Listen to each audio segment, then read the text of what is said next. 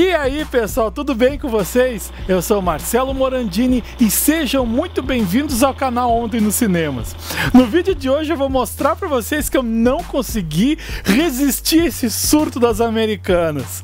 Eles estavam fazendo promoções no site e nas lojas físicas. Eu visitei todas as lojas físicas aqui em Porto Alegre que ainda tem o setor de filmes. Então, caso você não seja inscrito aqui no canal, clica no botãozinho à sua direita e faça sua inscrição. Ativa o sininho para ficar por dentro de tudo, dá aquela curtida cinematográfica nesse vídeo, compartilha com os amigos e siga ontem nos cinemas nas redes sociais. E claro, pega a pipoca, o refrigerante, a cestinha vermelha e vem comigo!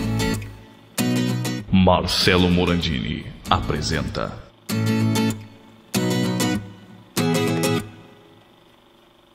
Unboxing e reviews de filmes e colecionáveis.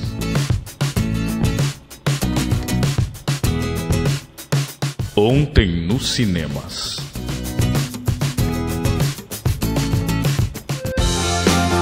Vamos começar então com as americanas do Rua da Praia Shopping, no centro aqui de Porto Alegre.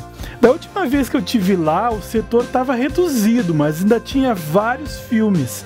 A minha esperança era encontrar algum box, alguma coisa esquecida nas gavetas, então eu fui direto para o fundo, onde costumava ser o setor de filmes.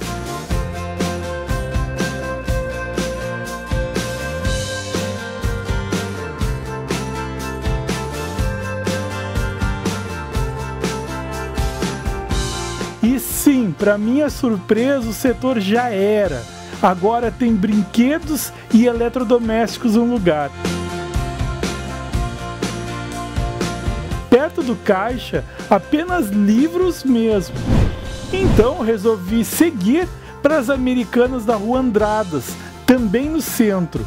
Lá o setor estava no terceiro andar, mas agora voltou para o segundo, como era antigamente, só que agora muito reduzido.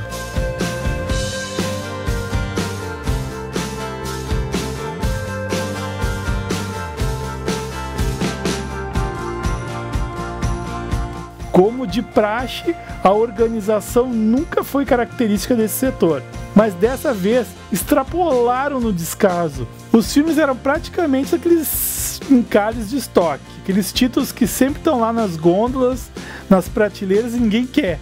Alguns filmes em Blu-ray foram encontrados, mas os preços não eram como esses em São Paulo e em alguns outros estados. Não tinha nenhum Blu-ray por R$ 4,99. Os Blu-rays estavam por R$ 14,99 e os boxes de séries por R$ 19,99. Os musicais era R$ 4,99, tanto CD quanto DVD. Os filmes em DVD em geral estavam por R$ 7,99.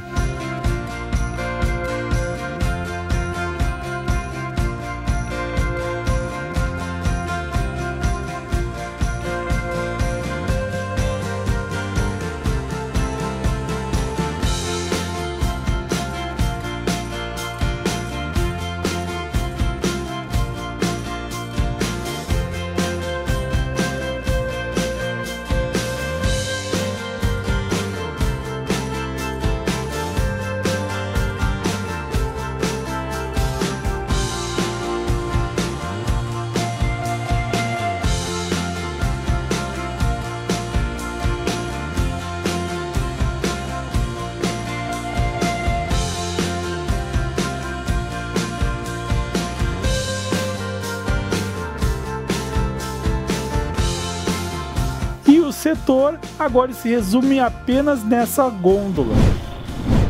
A próxima parada foi nas Americanas da Doutor Flores, que acredito não ser muito visada, e já encontrei lá muitos filmes que não tinham nas outras. Fui direto no segundo andar, bem ao fundo, para ver o que tinha em Blu-ray. E os preços são os mesmos praticados da anterior. Nada de Blu-ray barato nada de Steelbook por 20 reais e muito menos aquele box da Disney por 99. Só mais do mesmo. Algumas coisas de musicais, boa quantidade de CDs e, claro, hora de ver os tesouros das gavetas.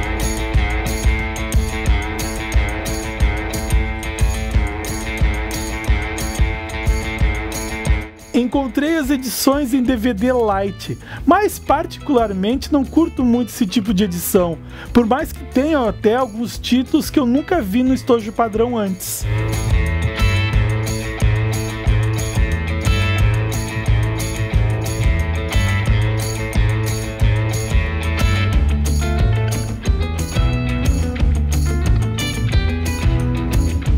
Nessa última, algumas coisas de musicais e CDs, tudo por R$ 4,99 unidade.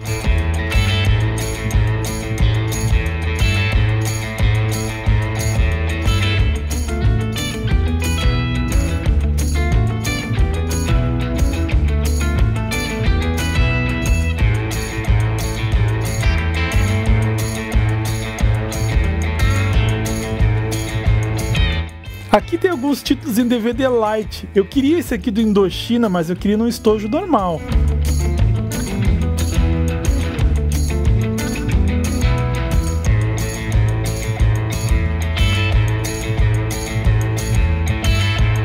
O funcionário indicou que tinham mais filmes no térreo. Ao descer escadas, um super balaio com as ofertas. A grande maioria eu já tenho na coleção, ou são alguns títulos que nem me interessam, mas é o que a casa oferecia no momento.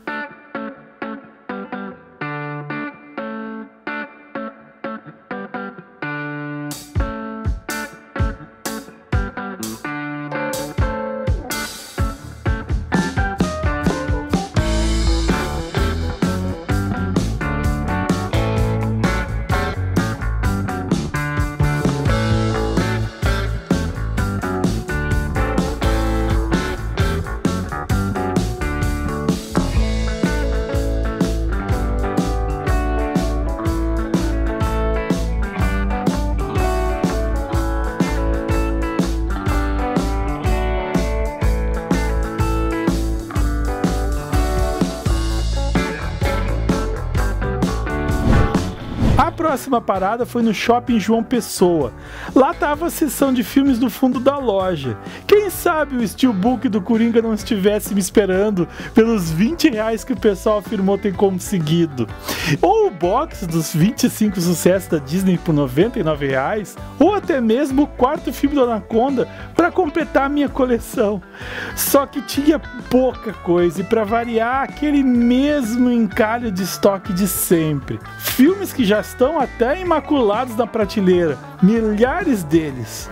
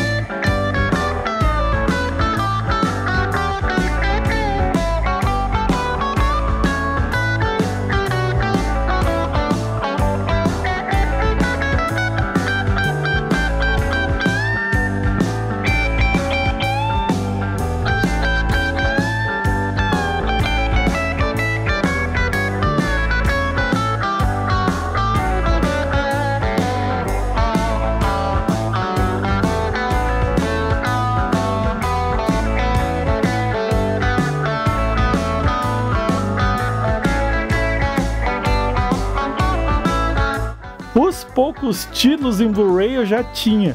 Então minha última esperança eram as americanas da Azenha, onde sempre encontrei mais variedade. Lá tinha vários boxes e filmes em Blu-ray individuais. Até estranhei ao ver uma gôndola no meio do corredor do térreo, mas resolvi dar uma olhadinha para ver o que tinha ali, só para dar aquele aperitivo para depois ir pro prato principal lá no segundo andar.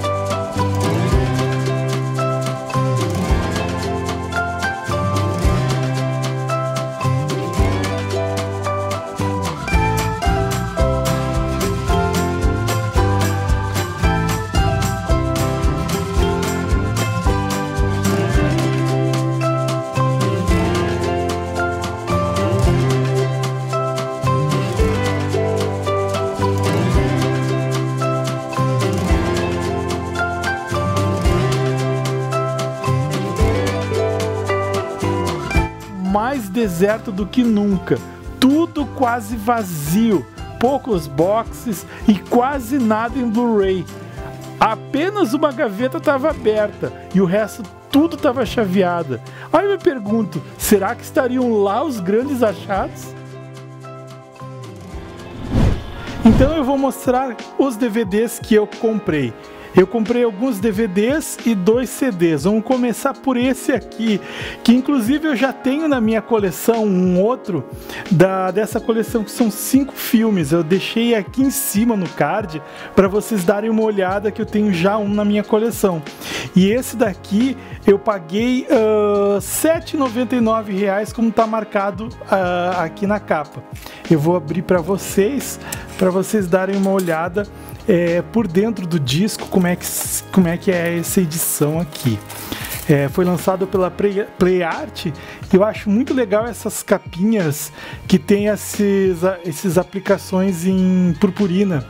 É, é o padrão da Play Art para essa coleção dos ursinhos carinhosos e também vem nesse estojinho amarelo. Eu vou tirar aqui a capinha para vocês darem uma olhada. Que legal essa edição Uh, tem essa edição aqui do, do filme Ursinhos Carinhosos. Olha só, aqui tem a parte com purpurina. Muito legal. É como eu digo, é como eu digo, né, pessoal? Esses DVDs com essas embalagens, essas capas diferentes, eu gosto de trazer para coleção. O próximo é esse aqui que foi lançado pela Universal que é a coleção Pica-Pau com os desenhos clássicos. Eles foram lançados e acho que não sei se são seis ou oito volumes. Uh, eu não encontrei todos nas americanas, então eu trouxe os que eu encontrei. Aqui estava marcando R$16,99, mas eu paguei R$7,99 nessa promoção maluca das americanas. Eu vou abrir aqui para vocês para olharem por dentro como é que é uh, o disco dessa edição aqui. Vamos abrir o pessoal lá de São Paulo tinha encontrado filmes mais baratos por R$ 4,99 em Blu-ray, mas aqui em Porto Alegre os estoques deles estavam bem, bem vazios. E aqui, pessoal, a edição em DVD do volume 3 e veio esse card aqui também, que é do Pica-Pau Filme. Olha só que legal, veio junto. Uh, não sei se as outras edições mostram cards diferentes, até o papel é bem fininho, mas é uma propaganda do filme, do pica-pau, o filme. Esse aqui veio com a dublagem também. Vou tirar esse plástico aqui, vamos para o próximo. É, vou até procurar aqui que eu tenho outra edição dessa daqui, que é o pica-pau é, o volume 4. Esse já foi é, uh, 7, não, foi 7,99 também, foi o mesmo preço e foi lançado pela Universal. Vamos abrir, são uh, vários episódios clássicos do Pica-Pau que a Universal lançou. Existiu também uma outra distribuidora que lançou isso, que era aquelas distribuidoras é, de revistas, enfim. Mas esses aqui são os oficiais lançados pela Universal e tem, claro, a dublagem original que todo mundo já conhece. Aqui mostrar o disco para vocês. Aqui mais uma do Pica-Pau e seus amigos. O próximo filme até estava procurando Bugsy, olha só pessoal, também R$ 7,99 na promoção, estava R$ 16,99, já era até um preço bom, mas eu consegui por R$ 4,99. Esse aqui lançado pela pela Columbia TriStar antes de virar Sony.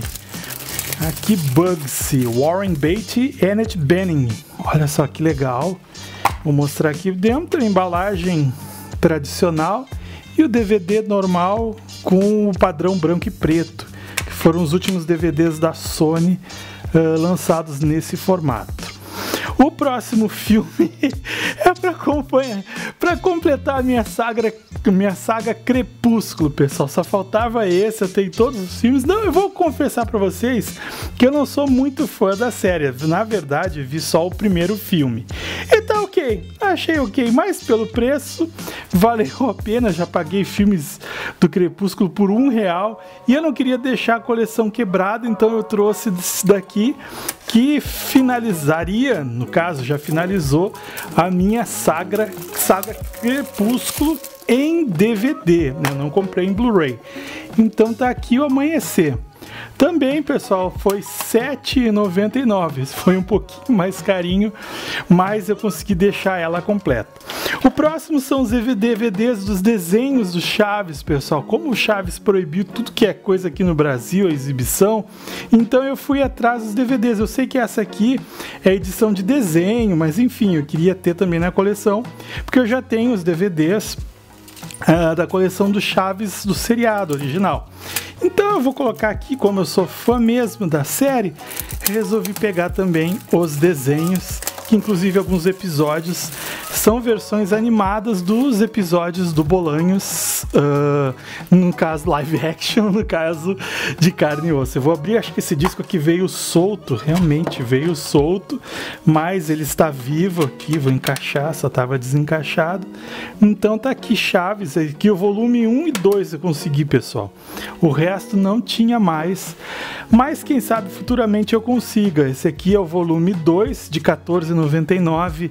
Esse daqui aqui eu encontrei por 7,90 também nessa promoção das americanas. Então vamos abrir para ver os discos por dentro, como é que ele está. Se ele está inteirinho, mas esse aqui não foi solto. Tava de 14,90 para 7,90. Coloque aqui embaixo nos comentários se vocês conseguiram mais barato pelas americanas. Tá aqui o disco. Chaves em desenho animado. O próximo filme é um musical, pessoal. Eu consegui, olha só, de R$29,99 eu consegui por 4,99. Esse sim foi um super desconto para um DVD musical. Esse aqui, no caso, é, são os shows da Miley Cyrus e por esse preço está super a pena, muito baratinho. Olha só a capa que faz a ilusão, a alusão a Esqueceram de Mim. Eu vejo Kevin McAllister aqui, Macaulay Culkin, aqui na capa. Olha só que legal, vamos abrir para ver como é que tá por dentro. Olha só, ah, que legal, veio o CD o DVD e veio também um encartezinho aqui na lateral. Deixa eu tirar aqui para vocês e vamos ver aqui o encarte colorido deste show aqui da Miley Cyrus. Olha só que legal, bacana. Quem gosta, quem é fã também, já deve ter esse DVD na coleção, mas por esse preço valeu super a pena, apenas cinco reais só pelo DVD. Seguindo, eu consegui aquele desenho Less, desenho não, aquele longa Less. Esse aqui eu achava que era o clássico, mas esse aqui dos anos 90. Uh, por R$ 7,99 também, já está o preço da etiqueta, é o preço que eu paguei mesmo. Antes acho que estava R$ 14,90, que já era até um preço até bom por um filme, vai. Agora Less, vamos abrir, já foi meio aberto aqui, ele está um pouco desgastadinho aqui, mas acontece, final, americanos, você sabe como é que são, né? Aqui, Lessie, o disco direitinho lançado pela Paramount. Veio extras, não veio nada dica de extras aqui, mas tem o filme, enfim. O próximo filme é a versão estendida de Verdade uh, ou Desafio de 27,99, esse aqui por, também foi por 7,99 uh, ah, a versão em DVD pelas americanas. Vou abrir aqui para vocês. Esse aqui já estava semi-aberto. Enfim, pessoal, só tinha praticamente poucas unidades desse. O que tinha mais era Imaculada lá. tinha muito DVD sertanejo e evangélico, nada contra, mas o que tinha mais de ofertas. A grande maioria dos filmes eram poucas unidades ou uma só. Verdade desafio, só encontrei esse daqui. Da Blumhouse, responsável pelos filmes de de, os filmes de terror atuais como A Morte dá Parabéns, Corra, enfim. Verdade Desafio. Os CDs, todos os CDs lá estavam por R$ 4,99, qualquer CD. Então eu trouxe esses dois aqui, duas trilhas sonoras para minha coleção de trilhas sonoras. Eu vou começar aqui com esse da Bela e a Fera, do Longa, e as versões é, em português do filme. Vamos abrir para ver como é que é um encarte ali dentro. Aqui, pessoal, a Bela e a Fera a parte de trás com a foto da Bela com seu vestido amarelo. Legal, agora vamos abrir aqui para ver como é que é o CD. Olha só que legal essa artezinha aqui que eles fizeram da Bela e a Fera. Bem legal, eu vou tirar aqui o disco. Então aqui os dois naquela cena memorável que reproduz fielmente o desenho, inclusive o longa. Vamos ver aqui o encarte, como é que vieram as fotos, a Bela e a Fera. Acho que vieram as, a letra das músicas, enfim. Aqui algumas fotos da Bela, algumas cenas do filme, né? Bem legal, muito legal a arte desse filme, direção de arte espetacular. Eu consegui vir, ver, assistir esse filme no cinema e tenho aqui na minha coleção em Blu-ray e agora eu tenho a trilha sonora. Seguindo aqui a outra trilha sonora de um filme que eu já tenho também, são os Trolls. Esse aqui do primeiro filme que tava de R$ 29,99 por R$ reais, né? R$ 4,99, R$ reais só pelo CD do Trolls. Trilha sonora. Opa, nossa senhora. Acontece, aqui veio tudo quebrado, pessoal, mas o CD o CD ele está vivo sem nenhum arranhão. Isso aqui vou ter que trocar a caixinha, porque normalmente cai no chão, você sabe, caiu no chão essas caixinhas de cristal aqui já já estragam tudo. Aqui a embalagem, a parte da frente, né, da capinha com todos os personagens coloridinhos, muito legal até. Cada cada folha, cada folha, cada página é um personagem, uma cor de fundo. Muito legal a arte gráfica. Bem legal esse desenho também, a trilha sonora também. Então foram esses os discos, pessoal. E agora eu quero saber de vocês o que, que vocês conseguiram comprar nas Americanas. Coloque aqui embaixo nos comentários. E caso você não seja inscrito no canal ainda, clica no botãozinho à sua direita e faça a sua inscrição. Ativa o sininho para ficar por dentro de tudo, dá aquela curtida cinematográfica nesse vídeo, compartilha com os amigos e siga ontem nos cinemas das redes sociais. E se der um tempinho, dá uma olhada aqui à sua direita que tem muito vídeo legal. Nos vemos no próximo. Até lá!